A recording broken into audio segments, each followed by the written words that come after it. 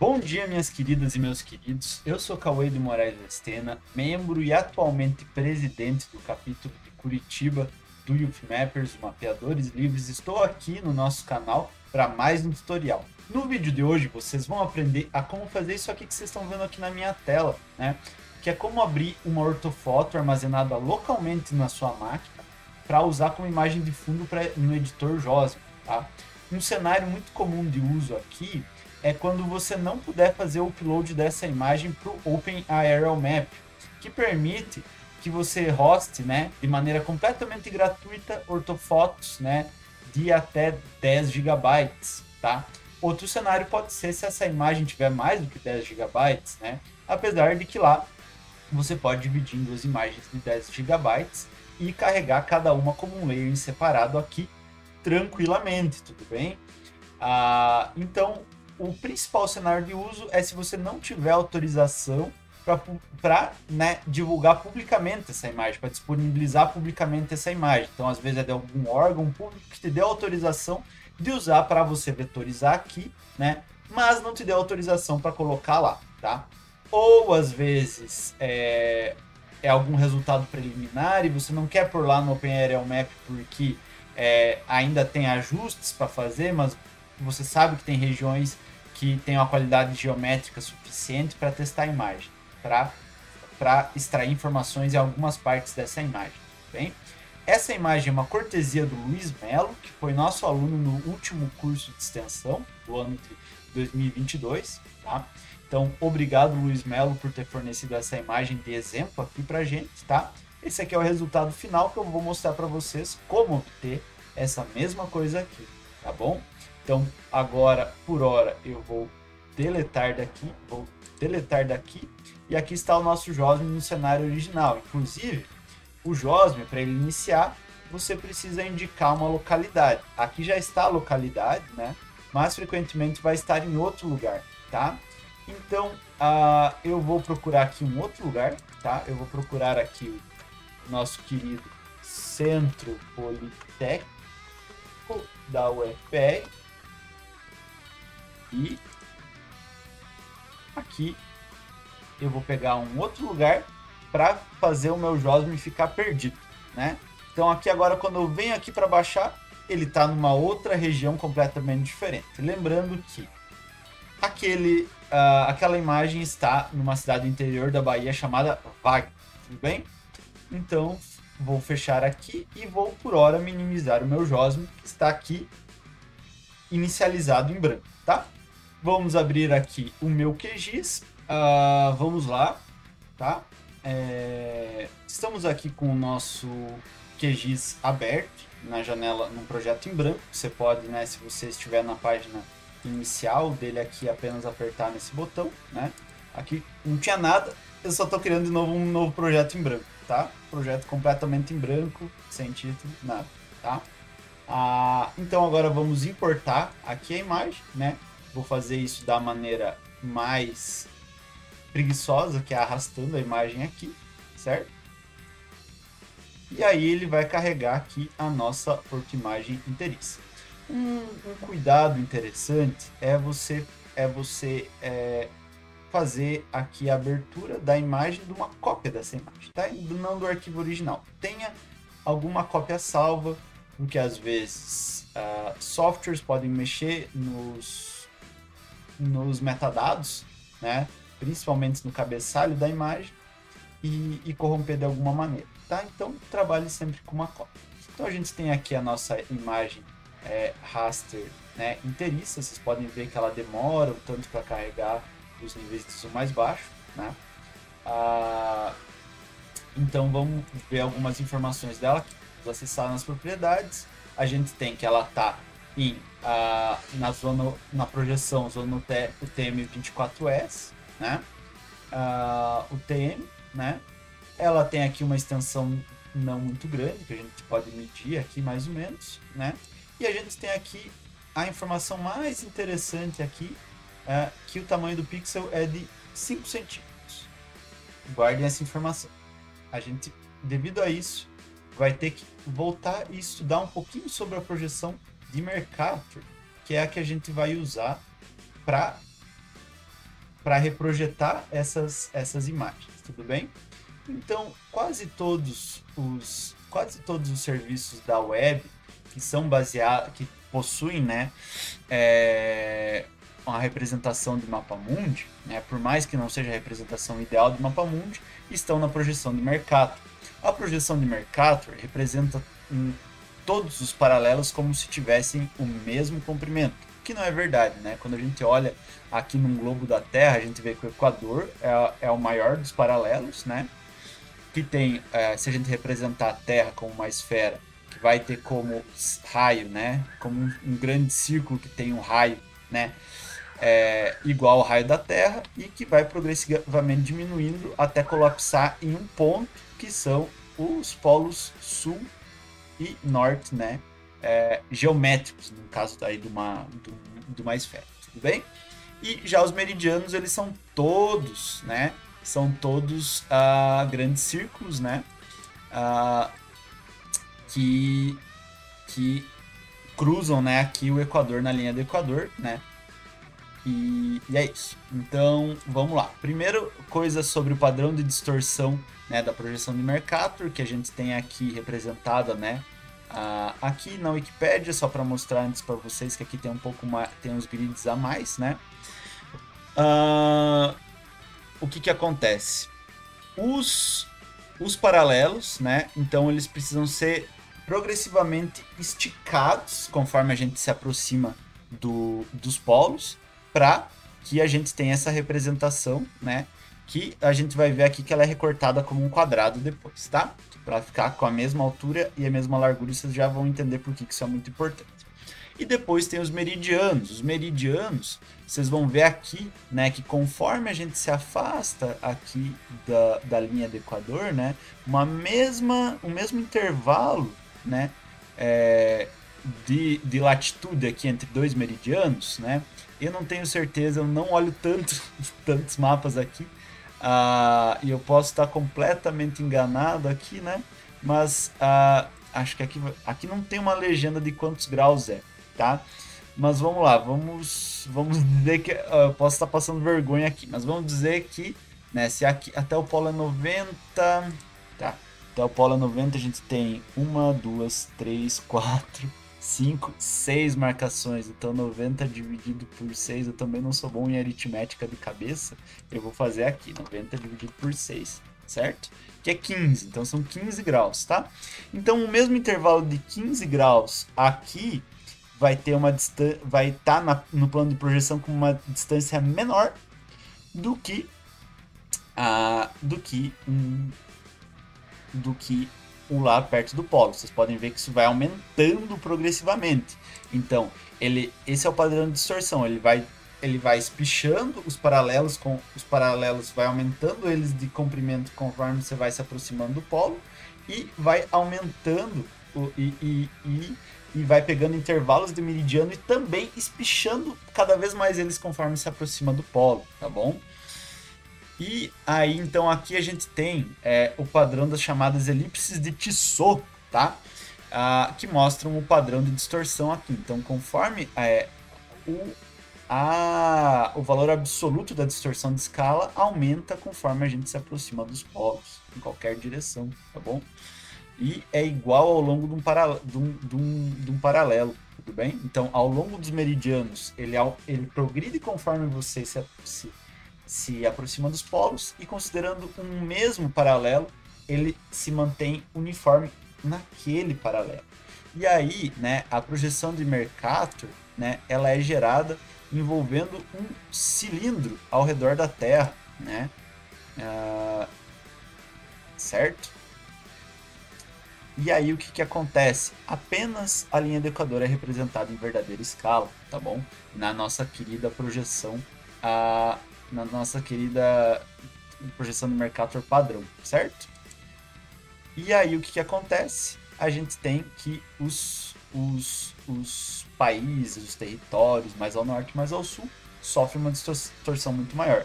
Esse GIF é muito interessante porque ele mostra né, que a Groenlândia, no final da animação, com, a, com o valor da área real, né, é muitas vezes menor do que o continente africano.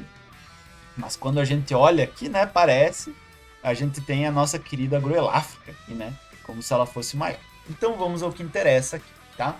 Primeiro de tudo, a, a Terra vai ser cortada, né, nos, a, até a altura dos polos aqui para ficar em formato quadrado, tá?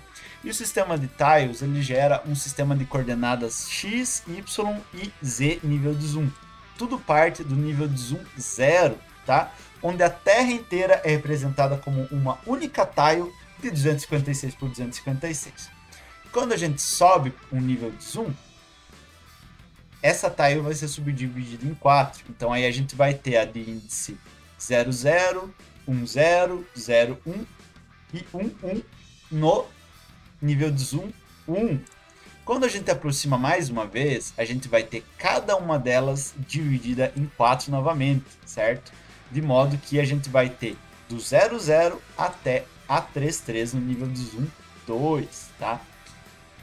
Aí se eu der mais um nível de zoom, cada tile dessas aqui vai ser dividida em quatro, certo? Então, isso vai indo assim por diante. Um esquema de pirâmide, mas num esquema de pirâmide bacana e não naquela coisa de coach, né?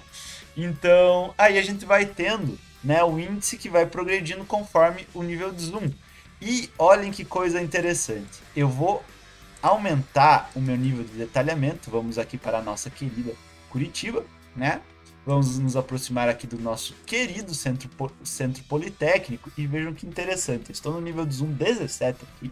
Vou dar mais um zoom para o nível de zoom 19, que é o máximo, né? Em que é, em que é detalhado o OpenCityMap. E vejam quantas, quantas tiles a gente tem carregadas aqui na nossa tela. 1, 2, 3, 4, 5, 6, 7, 8, 9, 10, 11, 12, 13, 14, 15, 16, 17, 18.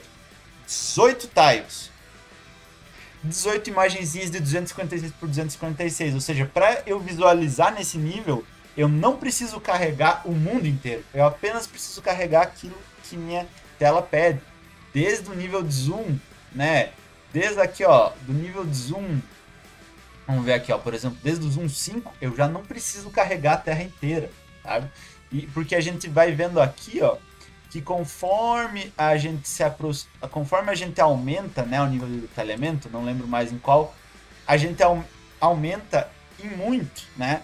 A, a gente dobra, né? O, a, quer dizer, sobe exponencialmente, né? A, a aqui a gente tem uma fórmula, né, para calcular, né? A, a largura de uma tile, que isso vai ser importante, né? E a gente tem aqui é, que a quantidade né, de tiles né, para um nível n de zoom vai ser 2 elevada a 2 vezes n o número de tiles. Então vejam, para o nível de zoom número 0 a gente tem uma tile.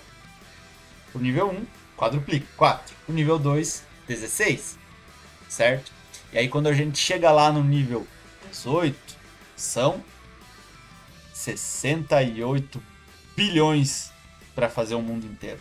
Né? Então imagine a quantidade de armazenamento que você precisa para ter um servidor com isso. Mas apesar que o servidor precisa armazenar muitas tiles, pense, das OpenCityMap, eles são dinâmicos, estão sempre sendo atualizados, então precisa ficar atualizando essas tiles. Imagine, né? Uh, inclusive o pessoal né, tem solicitado incluir o o, o nível 20 e fica de exercício para vocês, façam a conta de ver quantos bilhões de tiles aqui pro nível 20. Tá certo? Uh, mas, claro que a gente vai fazer um rasterzinho pequeno, tá? E aí, toda, é, toda essa fala a respeito da porção do Mercator é para dizer para vocês. A gente tem aqui, né, a, o tamanho quantos metros cada pixel daquele 256 pixels e cada tile vai ter. Então, para o nível 0, considerando a linha do Equador, a gente vai, ele vai ter que ele representa 156 mil metros. E isso vai sendo dividido pela metade, mas só na linha do Equador, tá bom? Então aqui, se a gente vai para. Lembra, no, o nosso raster é de 5 centímetros. Então no nível 20, né, Considerando, se fosse no, no, no, Equador, a gente ia ter aqui que o que a nossa, que a nossa tile, né, ia ter 15 centímetros. Cada, cada pixel ia ter 15 centímetros. Ou seja, se a gente criar só até o nível 20, a gente vai perder detalhe. E a gente não quer isso. Né? A gente está com imagens de alta resolução justamente para ter um recurso melhor do que as imagens de satélite. Então vamos lá. Nível 21 a gente vai ter 7,5 cm, considerando o Equador, lembre-se sempre disso. Certo? Então, a gente vai ter que no mínimo até o, dia, o 22, já que aí ele vai gerar 3,75, tá? E daí a gente tem aqui a nossa equaçãozinha, né? Aqui, né, da latitude e da longitude, né? Então, que a gente tem, eu nunca lembro qual dos dois artigos tem a equaçãozinha aqui, né? Mas é isso aqui, a, a largura de uma tile, né? É, então aqui a gente tem esta fórmula meio feinha, que eu acho que eu até gostaria de fazer aqui com vocês, mas eu vou simplesmente, para não delongar o tutorial, simplesmente adotar o nível 22, que vocês vão ver que chega no nível de detalhamento, até porque a Bahia ela não tá tem uma latitude tão alta, né? Vamos ver aqui qual que é a latitude de Salvador. Salvador, latitude. É, a gente tem que é 12 graus, tá?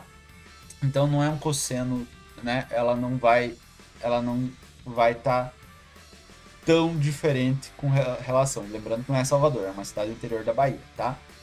Então, vai, vamos lá, Wagner, Bahia, latitude, é 12 graus, ok? Tá?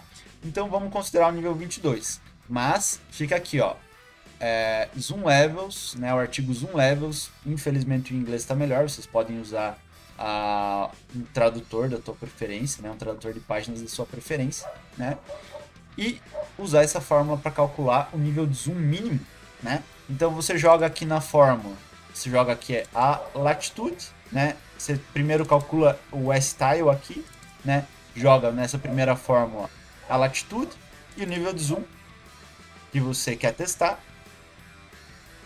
E aí joga isso aqui, né? Nessa. E se por acaso der um valor maior do que o teu pixel, você baixa mais o nível, joga na fórmula. Faz uma planilhazinha, calcula fácil, beleza? Então vamos, finalmente, depois de toda essa explicação aqui, né, já uns 15 minutos de explicação, né, espero por a minutagem no vídeo, vamos ao que interessa, ao tutorial tá? Então a gente vai usar um plugin para o QGIS, tá, que aqui no caso já está instalado, né, uh, que tem aqui, e que se chama Q Tiles. Q em inglês, né, é, é como fala o que, eu acho esquisitíssimo. Por exemplo, em inglês você fala kill this, meu Deus, vai matar o this, que horror. Mas é isso, em inglês é kill tiles. Vai matar as tiles, que horror. Simplesmente procura aqui, né, em todos e procura, digita Q, T, I, e já vai, provavelmente já vai aparecer, tá? Que tiles não tem. Instalou. Tá de boa. Vamos a... aí ele vai estar tá aqui em plugins, Kill Tiles e você abre ele. Não tem muito segredo, né? Eu vou só fazer uma coisa aqui para vocês, né? Mostrar mais ou menos onde é que a gente está aqui. Então vou pôr aqui o SM de mapa base, o SM Standard, né? E aí vocês vão ver aqui que a gente está numa cidade né, do interior da Bahia. Que aliás, olha, nem em latitude nem fica muito, nem tem muita diferença, né, do de Salvador, né? Tá, vou deletar aqui e já vou falar para vocês por que, é importante deletar. Zoom to layer. Aquela é demoradinha para carregar tá? Importante. O Ktiles, ele vai rasterizar todas as camadas que estiverem aqui. Se você tiver um, uma camada vetorial estilizada, ele vai rasterizar esse vetor também, tá? Então é isso. Você não especifica um layer para transformar em tiles. Ele vai transformar todos os layers do seu projeto em tiles. Então, se você quer só a ortofoto, deixe apenas a ortofoto no projeto, tá? Uh, aí então vamos vir aqui. Nível de zoom mínimo, 15. A gente está né, numa escala pequena, então vamos ver aqui como que é o, o nível de zoom 15 aqui, né? Vamos aqui para nossa querida Curitiba, aqui, ó. Vamos ver 15, a gente mais ou menos vê a cidade toda, né? Não tem porque a gente gerar aqueles, esses níveis continentais aqui, ó, por exemplo, nível 10 aqui não tem por que a gente gerar, né? Uh, inclusive dificulta depois, eu já vou mostrar para vocês que depois dificulta para encontrar. Então vamos de definir o nível mínimo aqui, né? Então, ó, por exemplo, a gente tem uma cidade inteira, que tipo Curitiba a gente tá no nível 12, tá? Então, tá, eu vou deixar aqui, né, no nível 11, tá bom? Lembrando, a gente pode usar aqui, uh, eu vou fechar ele aqui. A gente pode usar aqui a ferramenta medida, aqui, né, pra gente ver, né, que no caso a gente tem aqui, ó, nesse nosso caso aqui, tipo 500 metros. 500 metros por o quê? Um quilômetro e meio. É bem pequeno, né? Então se a gente volta aqui, eu acho que não tem não tem escala gráfica, né? Mas Curitiba tem vários quilômetros. Então vamos lá. Não vamos nem nem se incomodar com esses níveis aqui. Vamos direto de nível 13. Número auspicioso, certo? Então a gente abre aqui novamente o Tiles e vamos de nível inicial 13 e nível máximo 22, como a gente já discutiu, tá? Lembre, se você estiver numa região bem ao sul, numa região bem ao norte, faça aquelas contas antes, tá? E você também pode ir por tentativa e erro. Colocar aqui e baixou o nível de detalhamento, gera de novo depois, tá bom? Né? Uh, não tem mal nenhum, tá? Então, vamos colocar aqui o nome de tile set, né? De ba Wagner Bahia. Eu já tinha feito um teste para esse tutorial, né? E eu vou pôr num, num diretório aqui, né? Chamado é, a tutorial tiles, certo? Então ele vai criar nessa pasta aqui, tá bom? Vamos lá, uh, então aqui. Primeiro, o nome do layer, do layer que vai, de layer em tiles, tá? Então, Wagner Bahia, que é o nome do município, tá bom? Não é o nome da, não é o nome de nenhuma pessoa, de nenhum particular, é o nome do município, tá bom? E aí vocês vão vir aqui, uh, aí aqui, aqui, veja, o que a gente está definindo não é o layer que a gente vai usar, e sim a extensão que vai ser usada, bem? Pode colocar aqui o Canvas Down Zoom to Layer Canvas Extend, eu acho isso meio gambiarra, então simplesmente põe o extent do layer de interesse, tá? Mas, do contrário, é, você pode sempre, né, você pode pôr aqui o full extent, se você tem vários, para não ter que se dar o trabalho de ver qual que é o mais, né? Então, layer extent, ok? Parâmetros, aqui é a parte Uh, aqui é a parte da largura das tiles. Não mude isso aqui. 256 por 256 é o padrão. Quase tudo funciona nessa base de tiles de 256 por 256. Existem serviços que trabalham 512 por 512, tá? Não modifique. Você pode mudar o formato de PNG para JPG para aumentar o, a quantidade de, de de, de compactação, tá? Mas vamos deixar PNG e só se você deixar em JPG você vai ter que mudar uma coisa lá no final. Espero que eu lembre de falar, tá? Uh, essa opção pode deixar desmarcada. Desmarca essa opção de Use TMS, tá? A gente quer o padrão Sleep Map. No padrão TMS vai ter uma diferencinha na forma como a gente põe lá no, no, no JOSM, então a gente deixa assim. E então você deixa aqui em render tiles outside of layers extent, deixa assim. Pode deixar essa descrever um, um, um, um JSON metadata, porque dependendo de onde você for por essas tiles, esse arquivo JSON é fundamental. Em alguns lugares não é, tá? Pode deixar esse para escrever uma, uma, uma overview image, que vai fazer uma miniaturazinha, tá? Tira esse map .map.earn, a menos que você esteja trabalhando com essa tecnologia MapEarn, ou pode deixar, não vai fazer nenhuma diferença. E tem isso aqui legal, de já gerar um, um, um, um, um mapinha no, no leaflet, né? Mas está bugado no momento, não está funcionando, tá? Ah, então eu vou deixar aqui desmarcado, mas quando né, for consertado pelo pessoal, vocês podem passar a usar, porque é legal que já vai gerar um HTML, que você dá dois cliques e você já consegue visualizar no browser. E você pode deployar, por exemplo, no GitHub da vida e ter um webmapa lá, tá? ao menos começado, tá? Mas isso também é um plugin aqui para o QGIS que faz esse mesmo serviço. Então, tudo configurado. Vamos revisar aqui as, as, as configurações. O nome do layer, né? Wagner Bahia, que é o nome da cidade, né? Aí aqui é importante ter aqui um, um né, um, um diretório, importante que não tenha mais nada nesse diretório, tá? Deixa uma pasta limpa, ou você pode pôr aqui o nome de uma pasta que ainda não existe, como é o caso aqui, tá? Ele vai criar uma pasta limpa, importante. Extensão do, do layer ortofoto, uh, zoom mínimo 13 e zoom máximo 22, ok? Deixa as tiles 256 por 256, não mexa nisso. E essas opções marcadas aqui, como vocês podem ver na tela, tá? Não vou reler uma, uma por uma, qualquer coisa dá pausa no vídeo. E continua, beleza? E agora a gente simplesmente vai dar um run, tá?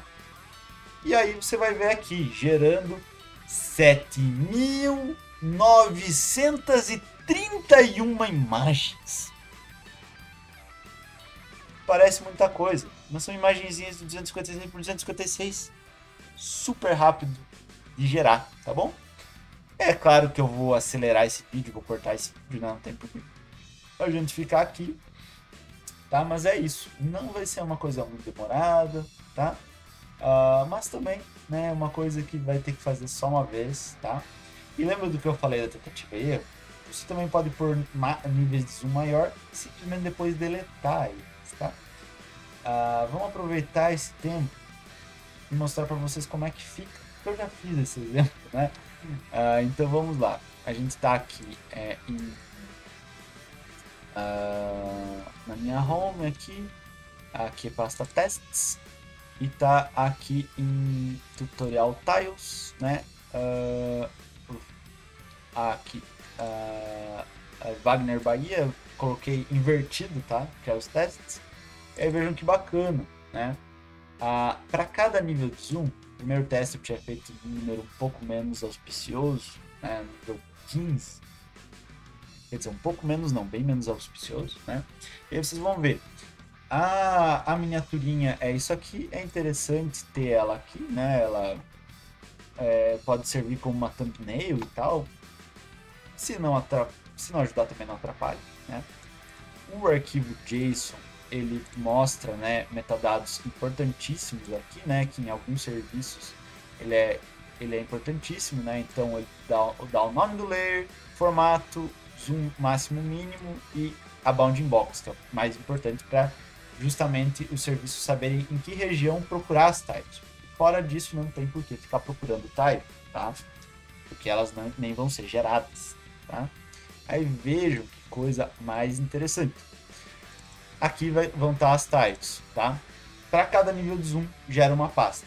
E aí a gente vai ter o índice, né? Por exemplo, aqui no nível 15 vai ser uma tile só. E a extensão é fix, né? Aí a gente vai aqui para o nível 16, vamos ver. Aí aqui a gente vai ter quatro tiles, certo? Canto superior esquerdo, canto inferior esquerdo, certo? Aqui, mesma coisa direito, né? Direito, direito. Vocês podem ver, mas ué, por que, que gera essas tiles desalinhadas? Porque a parte mais genial desse esquema de tiles é que é sempre fixo. Aqui é um intervalo de latitude e longitude fixo para qualquer mecanismo de geração de tiles. Então, a quantidade de metadados que você precisa armazenar para cada imagem dessas, isso aqui não é um PNG geoespacial, é um PNG comum esse PNG não tem cabeçalho geoespacial. Aliás, vamos testar isso. Vamos ver aqui, ó, Ctrl C, dá um Ctrl Alt T aqui para abrir um terminalzinho, vamos ver G da linf aqui e colar, né, esse aqui e vocês vão ver que não tem a informação da georreferência, porque a informação da georreferência tá tá na estrutura de pastas. Zoom 16 no Zoom 16, no índice X, é 25.273 e o índice Y é 35.032. Isso é tudo que ele precisa saber. Onde começa, em que latitude e longitude começa canto superior esquerdo, canto superior direito, para ele poder renderizar isso no mapa. Isso é genial. Isso é simplesmente genial. E o mais maluco é que isso é um padrão que não foi planejado pelo OGC, né? Isso é um padrão que acho que vem da Google e do próprio OpenStreetMap, tá? É largamente utilizado no OpenStreetMap, né? Quando você abre aqui o OpenStreetMap, o que a gente vê é um mapa renderizado como tiles. Vocês vão ver, ó, quando eu dou o zoom, que ele começa a carregar esses quadrados, né? E aí eu não preciso carregar o mundo inteiro, né? Quando eu tiro o zoom é melhor de identificar, né? Porque ele é, ele, ele só meio que dá um blur nas, nas, nas já carregadas, né? É. E, inclusive se eu for aqui no, no Inspector aqui, né? More Tools, a Developer Tools, é, acho que é o, né? E eu for aqui no, no contextual aqui, ele não, aqui é que tá numa div, né? Então não vou conseguir ver aqui. Mas se eu fosse dentro dessa div, eu ia conseguir ver tilezinha por tilezinha, tá? Se eu fizer o download aqui, ó, se eu aqui por alguma razão em algum ponto ele ele mostra, não, ah, esse é o esquece, que é uma outra div, né? Se eu baixar isso aqui com a página da web completa, né, vou fazer o teste aqui. É, downloads, uh, uh, opa, né? É, save pages como um OpenStreetMap, né? Uh, eu inclusive já tinha feito isso, né?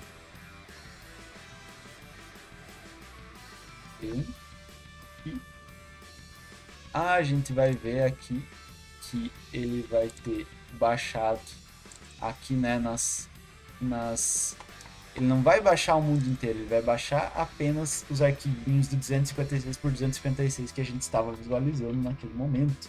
É só o que o teu navegador precisa estar tá carregando. Então veja como ganha em velocidade. Né? Você não precisa carregar o que não aparece e você só precisa carregar o que aparece. Né? Então é genial. Vamos ver como é que está lá o nosso processo de geração no nosso querido QGIS uh, já está em 60%, né? Esse pouquinho de Lero Lero já deu 60%, mas daqui a gente vai dar uma corta. Passa a bola para Vinícius Júnior, que passa para Richarlison, gol! Oh, tristeza, né? Eu ainda estou vivendo a ressaca do X. É triste, né, gente? Então vamos lá. Agora, depois de um tempo de espera que não foi grande, eu não computei, mas a gente pode ver no vídeo e depois extrapolar. Mas eu acho que não deu 10 minutos, tá? E claro, se for uma região maior vai levar mais tempo, tá bom? Então aí é até meio engraçado assim. Ele termina aqui, o, o Ketiles, ele termina aqui e não dá aviso nenhum. Aí então você simplesmente dá um close aqui, tá? E só a gente vai nessa pasta aqui para ver o que, que aconteceu lá, tá? Então ele não dá um aviso assim, é, terminado com sucesso. Ele só termina, tá? Então pode fechar a janelinha dele aqui e vamos lá, né, nas files. Então a gente tests, uh, aí a gente tem aqui, né, o tutorial tiles. E aí, como eu disse, tutorial tiles tem que ser uma pasta, era bom ser uma pasta que não existe, né? Então digitei lá tutorial tiles e o próprio plugin criou essa pasta, tá? Ele verifica se ela não existe crie uma pasta limpa, tá? Se você criar a pasta, certifique-se que é uma pasta limpa, tá? Isso é melhor. E aí a gente vai ter aqui, então, as nossas tiles geradinhas, né? Então, olha que bacana, né? Nível maior, nível máximo de detalhamento aqui, né? A gente vai ter um monte de tile em branco, mas vejam aqui, né? O nosso nível de detalhamento. Tudo pedacinho de 256 por 256. E fica levíssimo no final. Então, gente, vamos ao que interessa, tá? Mas antes, tem que lembrar que... Uh, tá, não, tá certo, vamos ao que interessa. Para a gente entrar com a, a gente vem aqui no JOSM, né? E a gente vem aqui em Imagery, Image, Image Preferences, tá? Aqui, ó, vocês vão ver no teste, eu já criei uma aqui, tá? e vai ficar igual isso aqui. Eu vou ensinar passo a passo para vocês como inserir aqui? Ah, beleza. Ah, o padrão que a gente escreve, tá? É da seguinte maneira que está aqui, tá?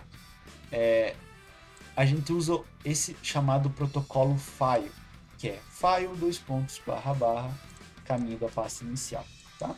E daí o protocolo uh, de, de TMS, né? Tiled Map Service. Tiled, Map Service. Eu não lembro se é Tiled ou se é Tile, se, se é ou se é map, mas o S de certeza de service, né? E a gente vai pôr Z, o X e o Y entre chaves. Por quê? Porque esses chaves é para dizer que é um formulário, né? Uh, e que daí ele vai preenchendo conforme a demanda, conforme a demanda daqueles, uh, da, né, dessa, do sistema aqui.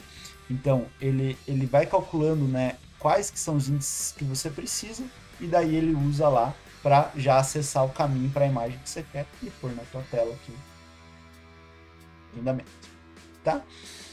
Uh, então, então vamos lá. Uh, é dessa maneira que a gente constrói a URL, tá?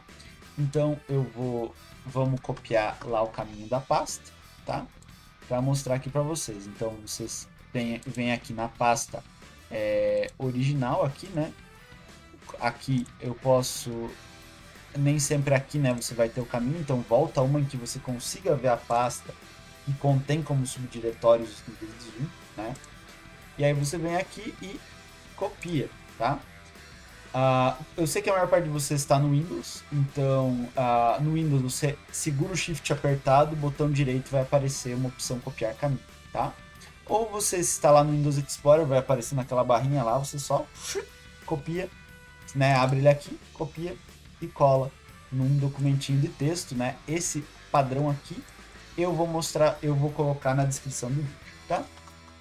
Se você gerou JPG, no lugar de, de PNG aqui vai o JPG, ok?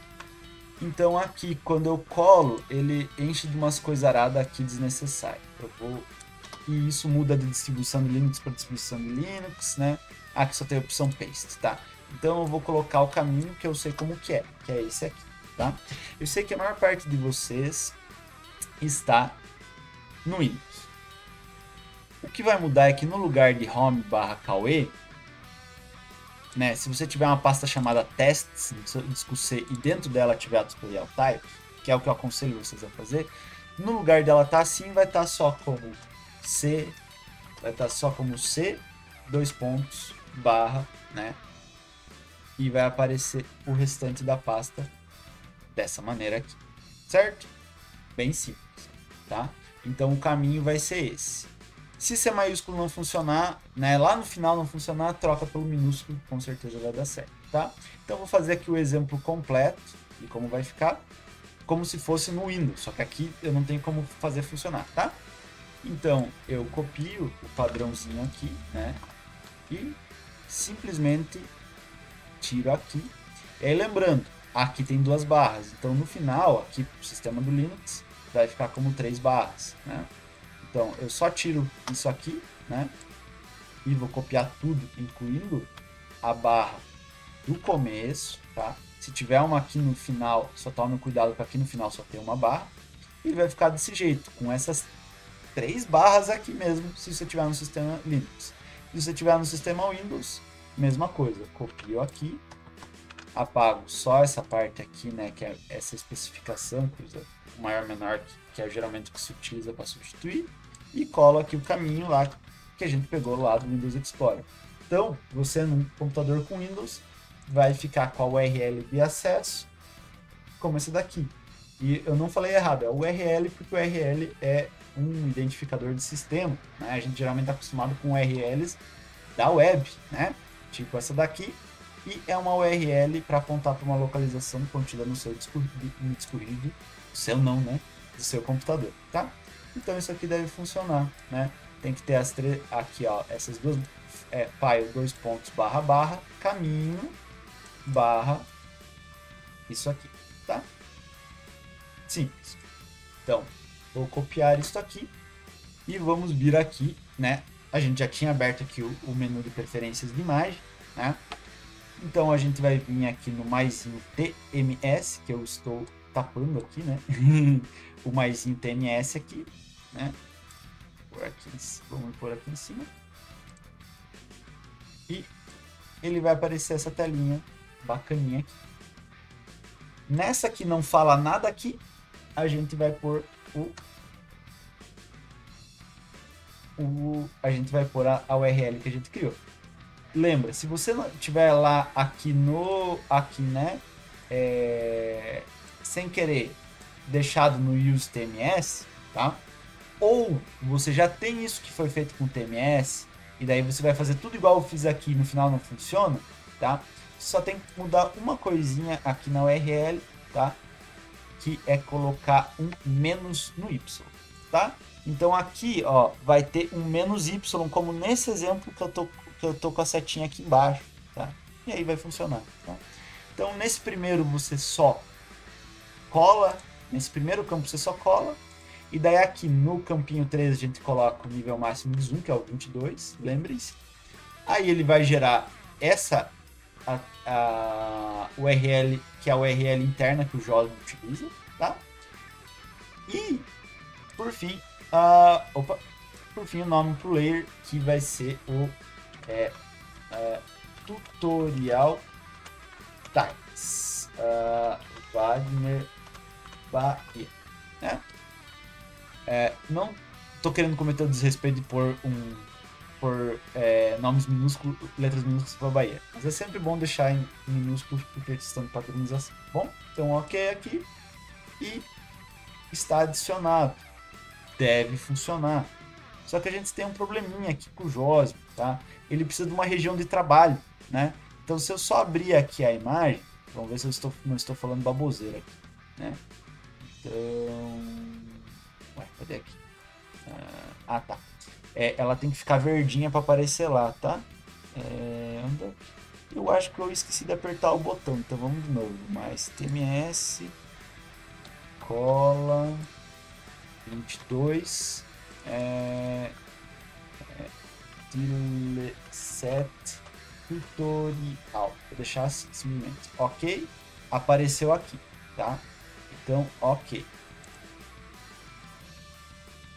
Ok? E aqui em Major, tá? Aqui tá aí o set tutorial. É, só que aí que tá, olha, olha as coordenadas que ele tá, menos 25, menos 49, isso é Curitiba, tá? Então, o JOSM, ele não sabe identificar onde é que tá a região de trabalho, tá? Eu acho que ele não lê a... ele não usa aquele arquivinho metadata.json, ele só usa as imagens, né? Então, do ponto de vista minimalista, né? É, diminui os requisitos técnicos de metadados, só que aí tem esses, tem esses por, poréns, né? Então a gente tira aqui o que, que a gente vai fazer. A gente vai fazer um, vetor, um, um, um, um layer vetorial para ajudar o JOSM a localizar aqui, tá? Ou você também pode pegar né, coordenadas latitude e longitude e, e around a point, né? Então, uh, tem várias maneiras de se fazer, tá? Vou fazer de uma maneira que eu considero simples, né? Que vem aqui um create layer, uh, novo layer temporário, polígono, 4326 tem que ser, né? E ok, eu vou fazer um polígoninho aqui, né? Que envolva mais ou menos aqui. Aí eu venho, uh, aí eu salvo as edições, tiro do modo edição e venho aqui em, né, clica naquele íconezinho ali que vai salvar o meu layer, que aí aqui em data vai estar tá aqui como a uh, tile set uh, ok. Vamos usar o inglês aqui. Certo? Ok. E aí a gente, ó, aqui ele apareceu até aqui o caminhozinho, né? Facilita aqui pra gente se clicar ali simplesmente, né? E aí, jeito preguiçoso novamente. Eu adoro. Arrasta. Pronto. Viu? Mas você, como eu disse, você pode vir aqui, né? E você pode vir aqui no Download from SM e, por, e colocar aqui a Bounding Box, né? ou você pode é, procurar aqui, né? Você pode usar o usar o nominating para pegar ao redor do, do, né, do lugar. Só que se for uma região erma que não tiver nenhuma feição, talvez não encontre, né? É, então é isso. Se quiser evitar aquilo, talvez o jeito mais uh, menos gambiarrento é você pôr aqui a, a bounding box direto, tá? Uh, eu gosto mais desse jeito mais rápido. E aí uma vez que eu coloquei aqui, veio Imagery e ativo ela aqui, tá o set tutorial. E vamos ver. Aqui está. Veja que coisa linda. Ah, aí, importante, eu tiro o, esse já JSON Locator aqui que eu criei, tá? Para ele não misturar com os dados do OpenStreetMap quando eu baixar eles, né? E aí vejam que interessante. Olha, eu estou aqui e ele funciona daquela mesma maneira, ele só carrega aquilo que é necessário, então é super rápido para carregar, sabe? É, é uma evolução, por exemplo, pirâmide de imagem. Pirâmide de imagem, é, eu, pelo que eu lembro, ele não tinha o lance né, de. Ele não deixa de ser uma pirâmide de imagem, só que feito de uma maneira que é sempre fixo, né, o intervalo dos pedacinhos das pirâmides de imagem, né, e dividido em pedacinhos, né, que é uma coisa que nem sempre tem na pirâmide de imagem, e só carrega o que é necessário. Né? Então, o, o, o background, né, o, o, o motor por trás disso aqui, né, o, o back-end, só pega aquilo que é necessário, tá? E vamos, uma coisa interessante. Então, a gente vai ver que a gente também pode usar esse layer que a gente criou aqui no QGIS também, tá? Então a gente vem em Data Source Manager e aí vocês né, vão começar aqui no browser e tal e vão vindo aqui até chegar no XYZ Connection. Cuidado para não confundir com o Vector Tile Connection, que é outro sistema de tile que a gente não vai falar no vídeo de hoje, mas que também é muito bacana, tá? Então aí a gente vem aqui em New, eu vou colocar aqui um Tile Set é, Tutorial e vamos colar o URL aqui da mesma maneira, mínimo nível de zoom 13 e máximo 22, certo? E aí aqui o resto deixa como padrão, porque a gente usou o padrão, esse tipo de protocolo e a gente dá um OK. E aí, às vezes, logo que você dá OK, ele não põe aqui. Então, seleciona aqui e dá um Add, certo? E aí vocês vão ver aqui que agora a gente consegue carregar aqui. E vejam que bacana como ele carrega bem mais rápido do que o GeoTIFF inteiriço. Olha só que bacana isso. Ah, até porque eu não sei se esse GeoTIFF aqui tem pirâmides, né? Vou dar uma olhada aqui propriedades, talvez ele não tenha pirâmides de imagem e tal. Deixa pra lá, tá? Ah, mas olha aqui, olha como ele é mais demorado. Isso que ele já estava aberto aqui pro QGIS. Tá? Então veja, não é que isso substitui o GeoTIFF inteiriço, né? Imagina que você precisa passar um algoritmo por todo o GeoTIFF e tudo mais. Mas para fins de visualização, as tiles são muito melhores. E para colocar como imagem de fundo e por aí vai. Olha o tempo compara o tempo de carregamento. Ó, ele ainda tá, né?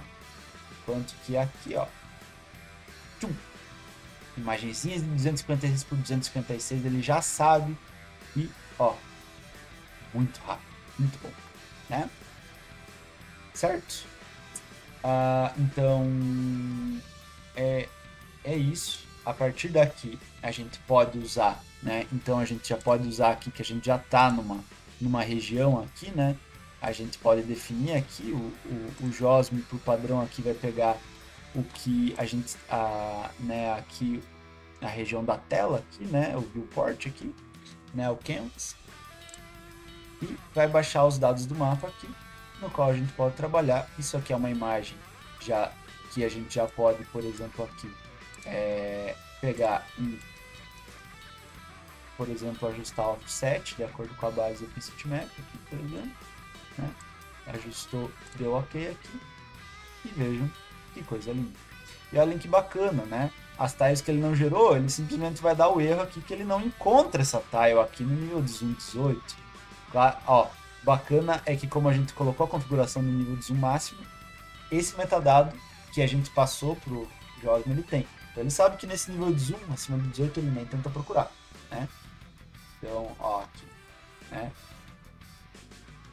Né? Onde tem tile, ele só vai pegar e vai reamostrar aqui, né? Pelo vizinho mais próximo, no caso. E é isso, né? Quisesse dar para gerar o 23, né? Ele pode interpolar, talvez fique até mais suave, né? Do que esse vizinho mais próximo. E é isso aí, pessoal. É, vamos pensar. A gente pode testar se funciona no ID, né?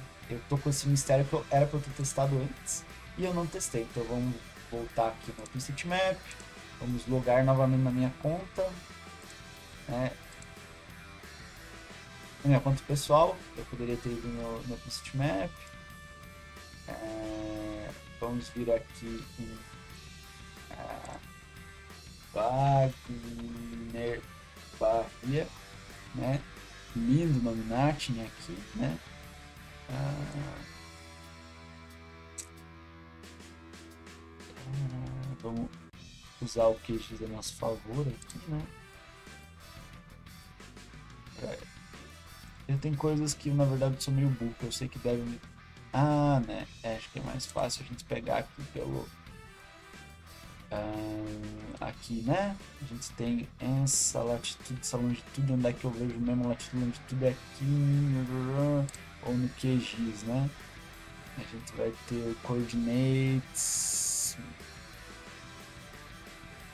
Ah, essas coordenadas aqui estão. Ah, é. Pronto. É aqui. Cadê o meu querido? É, rapaz. Esse querido aqui, ó.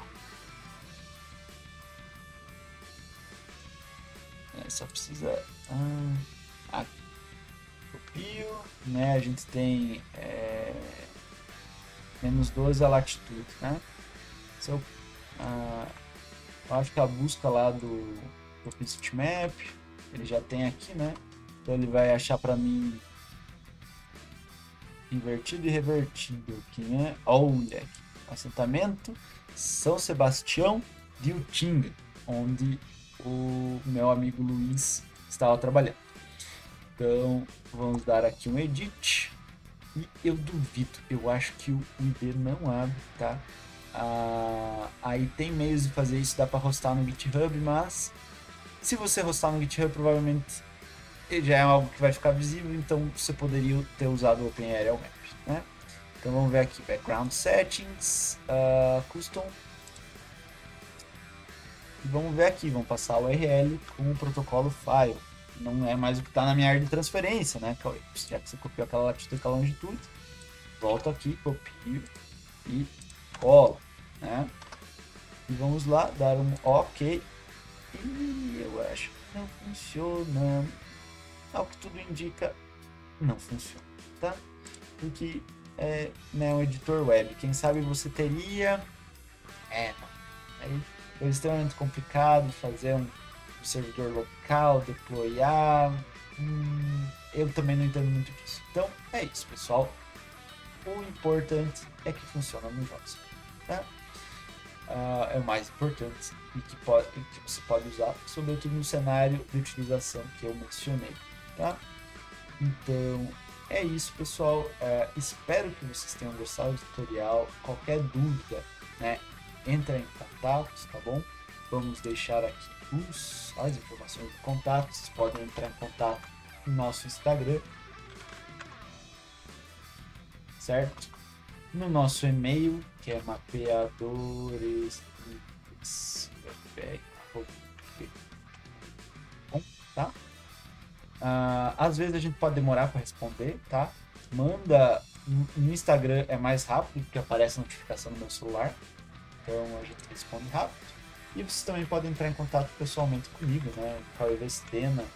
Essa arroba é praticamente tudo: Instagram, Twitter, Telegram, GitHub, até no tal do Facebook, até no tal do LinkedIn, ou no meu e-mail também, que é cauê2 arroba e-mail. Bom, esse eu confiro com mais frequência até do que a do Mapeadores. Né? Peço desculpas que às vezes eu esqueço. Então é isso, pessoal. É, espero que vocês tenham gostado e até a próxima.